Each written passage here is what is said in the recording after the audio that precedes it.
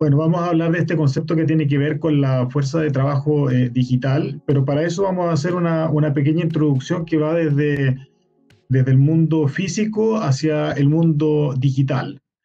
En lo que se llama la revolución industrial, en la cual, eh, bueno, partió obviamente con la mecanización, las máquinas a vapor, todo lo que tiene que ver con la producción en masa y, eh, digamos, por el modelo eh, Ford, digamos, de producción a, gran eh, escala que se dio eh, a, principios de 1900 con el advenimiento de la informática y, todos los desarrollos también que fue haciendo Japón en, temas de mejoramiento continuo de procesos con el sistema de producción de Toyota, se fueron empezando a trabajar temas de automatización asociados a las tecnologías de de la información. Hoy día estamos en esta cuarta revolución eh, industrial o industria 4.0, donde ya, dado el Internet eh, de, las cosas, las comunicaciones y eh, sistemas ciberfísicos, hoy día estamos llegando a estas industrias a los conceptos de industria inteligente, inteligencia artificial y, otros y otras componentes. En este sentido ha sido un largo, un largo camino, pero desde el advenimiento de la informática se empezaron a abrir otros, otros frentes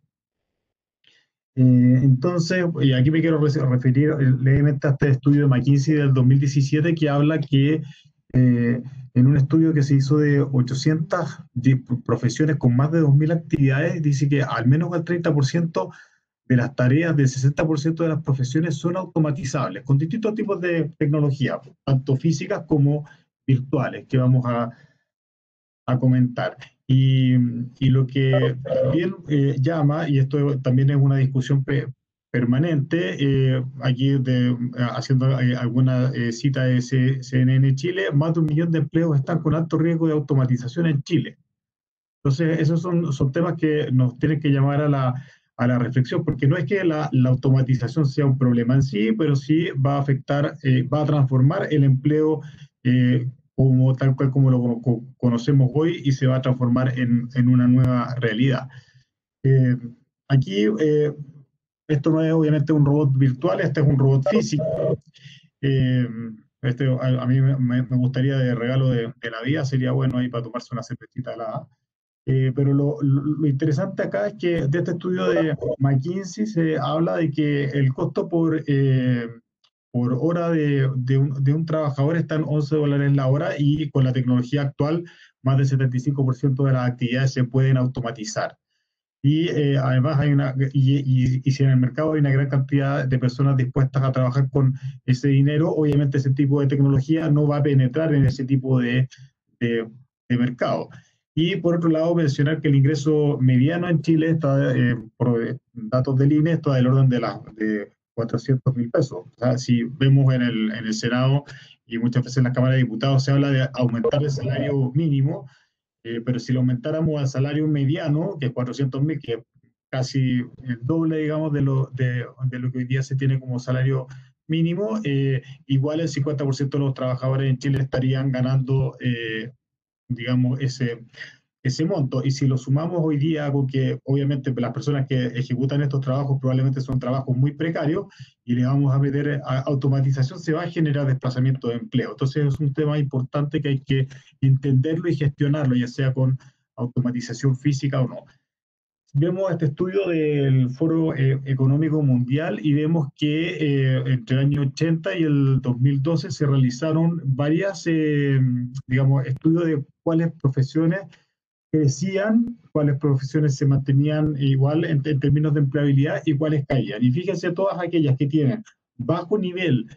de requerimientos sociales y bajo eh, nivel en habilidades matemáticas son las que más caen. Y las que más crecen son aquellas que tienen habilidades matemáticas con eh, habilidades sociales. Permanentemente en la, mesa se ha mencionado de que eh, en, nuestra sociedad nuestros niños, digamos, tienen que aprender habilidades digitales como eh, programación y ahí eh, este, tenemos un buen complemento de lo que son eh, habilidades matemáticas como el lenguaje del futuro y obviamente la interacción social es muy importante. Bien, esto aquí refleja claramente hacia dónde queremos llegar, que es la fuerza de trabajo digital. El ser humano ha ido evolucionando en su en su historia y de repente se encontró con, este, con, con, esta cajita, este, este computador que gracias a Internet nos permite intercomunicarnos, nos, nos permite relacionarnos y hoy día hay personas que gastan muchas horas de su tiempo detrás de un computador haciendo clics y haciendo, eh, digamos, digitación y búsqueda o ingreso de datos de información. Por lo tanto, si nos vamos a esta, a esta era digital, eh, tenemos que entender, por ejemplo, que en todo el tema de la pandemia que hemos eh, vivido, las nuevas herramientas digitales permitieron reabrir lugares de, de, trabajo. Si yo en una organización tengo un trabajador digital que básicamente es un aplicativo de software que puede hacer trabajos eh, eh, digamos, sin, sin, la necesidad de que un humano esté presente, claramente ayuda a convivir eh, hoy con, con, esta situación de pandemia. Otro, otro tema también que tenemos que entender en el contexto, y, y, esto más bien es una, es una palanca de ayuda para que podamos seguir penetrando este tipo de tecnologías dentro del mercado, es que eh, consistentemente, tanto en, en ACTI como en, en, en, distintos medios, se ha dicho que en Chile tenemos una, una, una, falta de profesionales en el área de las tecnologías de la, de la información. Y aquí, eh, digamos, una, una noticia de,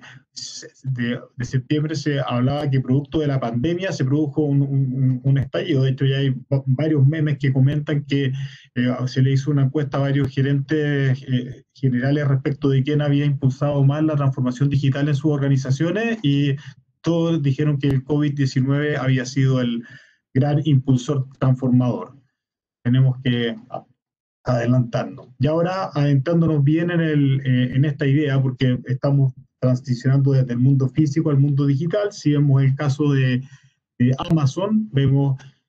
eh, ellos ya en el, en el, mundo físico ya hasta implementaron su primera centro de distribución con eh, robots.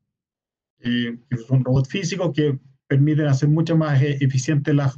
operaciones. Pero por otro lado, Amazon no tendría el éxito que, que, que tiene eh, si es que no hubiera desarrollado su plataforma digital para eh, interactuar con, eh, su, digamos, con, sus clientes en forma, en forma distribuida. Entonces tenemos un, un negocio que se mueve en el, tanto en el mundo físico como en el mundo digital. Eso ocurre también con, el, con, con los, con los trabajadores virtuales de una forma, porque son aquellos que pueden hacer trabajo de eh, atender ciertos requerimientos que ocurren en, el mundo físico, pero hay que interactuar con programas de computación, con ERP, con, eh, con páginas web, con eh, distintos aplicativos de software para que los procesos de negocio dentro de las organizaciones funcionen. Y si explicamos un, un, poquito de historia, básicamente lo, esto es un estudio de Everest Group, hay eh, seis tipos de tecnologías en las cuales uno puede hacer eh, automatizaciones que van desde el scripting y, macro hasta lo más sofisticado, eh, pero que hoy día tiene un bajo nivel de madurez que tiene que ver con el procesamiento de lenguaje natural y de inteligencia artificial versus las otras como TPM, el IT Automation y Scripting que llevan muchos años. Para los principales players en el tema de, de esta sexta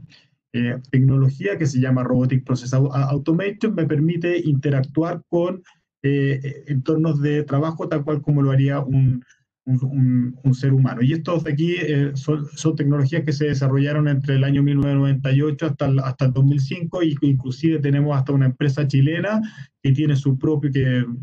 digamos que desarrolló un,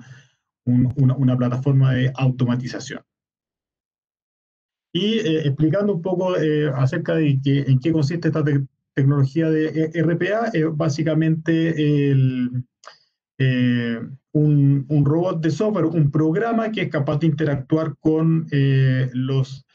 las aplicaciones, por ejemplo, un analista contable que recibe una factura desde el Servicio de Impuestos Internos y tiene que registrarla en la contabilidad, eso va a tener que digitar la información. Lo que hace un, un RPA es básicamente eh, hacer esas interacciones a nivel de clics eh, y, de, y, de, movimiento de mouse, tal cual como lo haría un, un humano. Que nos permiten hacer todo lo que sea extraer o ingresar información en distintos tipos de plataformas, eh, navegar, aplicar funciones, validación de datos, pero todo esto basado en reglas estructuradas. O sea, del tipo, si aparece un dato mayor que tanto, haga esto, si aparece un dato menor que tanto, haga esto otro. Que no es, no es automatizable aún, pero si agregamos obviamente capas de inteligencia artificial y otras cosas, se pueden ir abordando más eh, eficientemente. documentos manuscritos en, general tienen pues, baja, baja eh, resolución eh, tampoco y decisiones basadas en reglas no estructuradas requieren un soporte humano para que esos procesos ocurran. Entonces, ¿qué factores nos van a afectar al ritmo en que eh, va a avanzar esto? Tiene que ver con la viabilidad técnica de, la, de, la, de las soluciones, el costo de desarrollarlas e implementarlas, las dinámicas del mercado laboral y obviamente esto tiene que tener un retorno económico, ya sean empresas del rubro privado como, tanto el rubro, el rubro público. El, Estado tiene muchos ministerios que trabajan en sí, lo que no están interconectados y este tipo de tecnología podría ser un tremendo eh, motor para la interoperabilidad en, en, en, varios servicios. Aquí les quiero mostrar un pequeño eh, video de un ejemplo de automatización. Aquí estamos viendo uno de los productos, digamos, de, de, automatización. Este proceso lo que va a hacer es tomar a partir de un listado Excel con número de países, se va a meter al, al sitio web en Google, va a buscar la información del PIB de esos países y después ese resultado lo va a ingresar en un formulario eh, Google Forms. Entonces ahí vemos cómo eh, somos capaces de interactuar con eh, distintas aplicaciones, tal cual como se lo estaría haciendo un humano. lo que están viendo ahora se, se, lanzó la automatización, se abrió automáticamente el navegador, y aquí empezó a buscar PIB de Chile, extrae la información y la está guardando en la planilla Excel. Ustedes podrán eh, imaginar que si ponemos a un humano a hacer esto miles eh, o, o sea, cientos o, miles de veces al día, es una tarea terriblemente rutinaria, aburrida, eh, desgastante para, para la, la persona y eh, este colaborador virtual, que sería este bot, que lo que está haciendo es extraer los datos del PIB, puede ayudar al trabajador a hacer mejor su trabajo porque permitimos que el trabajo es estructurado, basado en reglas, aburrido, pero eh, lo, lo, haga un asistente digital. Aquí ya estamos en la segunda parte del proceso donde el robot está ingresando los datos de cada una de, de los datos del PIB que eh, extrajo. Obviamente tenemos un buen ejemplo porque el PIB eh, cambia una, una vez al año, pero podría ser ir a consultar documentos, ir a consultar facturas, extraer información del servicio de impuesto interno, eh, etcétera, etcétera. comparaciones de precios desde la web, hay muchas aplicaciones a nivel de, del día a día. Y uno, es cosa de preguntar en, en, las empresas dónde gastan mayor tiempo haciendo trabajo repetitivo y estructurado y estas aplicaciones pueden resolver este tipo de problemas. Gran desafío, sí, eh, diputado, eh, es ver cómo hacemos que esta, este tipo de tecnología pueda llegar a las empresas de, eh, digamos, pequeñas y medianas. Aquí estamos viendo ya la parte cuando eh, estamos entrando a ver los resultados que se descargaron. Esto ya no es parte del, del, del, robot, pero eh, es bueno ver, estas son varias de las pruebas que se, que se hicieron y los últimos seis registros ingresados fueron los que realizó el bot por su cuenta.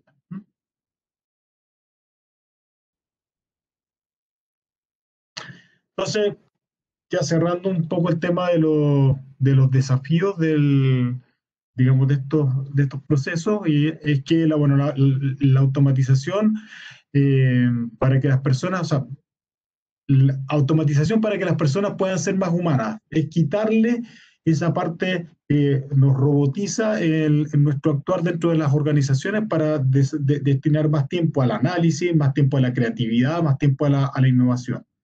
agregar valor mejorando la productividad de las tareas repetitivas. Si, si las tareas repetitivas no aporta, aporta valor, tenemos a una persona con un, con un, con un cerebro, con, con, con, conocimiento, no lo pongamos a digitar datos porque lo, los sistemas hoy día no, no, permiten mayores niveles de automatización. Mejorar la calidad del empleo. Que tengamos gestores de procesos versus ejecutores de tareas. Oiga, que contratamos un analista contable y lo único que hace el analista contable es digitar facturas versus estar entendiendo cómo mejorar el, el, proceso. disminuir el déficit de profesionales en las tecnologías de la información, generar plazas para empleos tecnológicos. Ahí tenemos un tremendo, una tremenda posibilidad. Ya lo vimos con la pandemia, el teletrabajo es una realidad, es algo que se puede concretar y por qué no si el Estado invierte en, políticas públicas para que el inglés sea un segundo idioma en, en Chile, podamos exportar servicios y trabajar desde Chile hacia el exterior usando plataformas tecnológicas. Y por último, incorporar esta fuerza de trabajo digital en las organizaciones como un motor de aumento de productividad y de mayor creación de valor para tanto entidades públicas como privadas. Muchas gracias.